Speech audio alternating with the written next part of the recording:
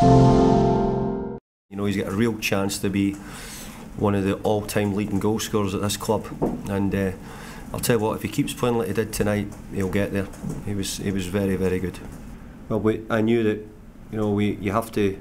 I think if you're going to win the Champions League, you need to have several world-class players, and uh, you know Wayne Wayne would certainly come into that category. So it's really important that you have as many of them as you can in your team. You can see what some of the the teams I've got, and uh, we have to try and keep adding to that and keeping the ones we've already got here.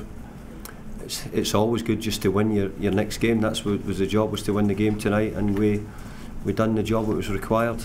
And uh, more importantly, it's a, it's a good start in the Champions League. That's the only thing I was interested in tonight. I think it was something which we made them made them aware of.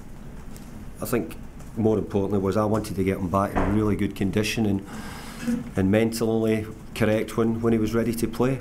And uh, I think you see him. I think he looks looks he's moving as well as he has done. You know, he's he's in a good place himself at the moment, and obviously any centre forward who's scoring goals feels good about himself.